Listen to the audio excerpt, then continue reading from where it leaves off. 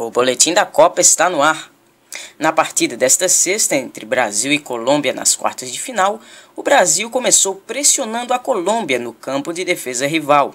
E o resultado foi o gol de Thiago Silva logo aos seis minutos, aproveitando a bola que passou por toda a defesa colombiana em um escanteio cobrado por Neymar.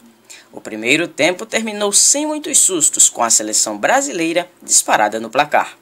No segundo tempo, mesmo com ritmo menos acelerado, o Brasil não esmoreceu e a Colômbia não conseguiu fazer a bola chegar em Rames Rodrigues ou Quadrado e nem em algum dos seus atacantes. Aproveitando que a seleção colombiana se defendia dos contra-ataques dos rivais com faltas, foi assim que o Brasil aumentou o saldo.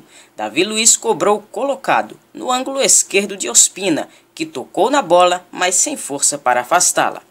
Mas após Júlio César derrubar Baca aos 31 minutos de jogo, o juiz marcou o pênalti. Rames cobrou rasteiro e diminuiu. Final de jogo: Brasil 2, Colômbia 1. O Brasil está classificado para a semifinal, onde competirá com a Alemanha na próxima terça-feira, dia 8 de julho. Ainda disputando nas quartas de final para conseguir uma vaga na semi, jogam amanhã, dia 5, Argentina e Bélgica, a partir das 13 horas em Brasília, e Holanda e Costa Rica em Salvador, a partir das 5 horas da tarde. O boletim da Copa chegou ao fim.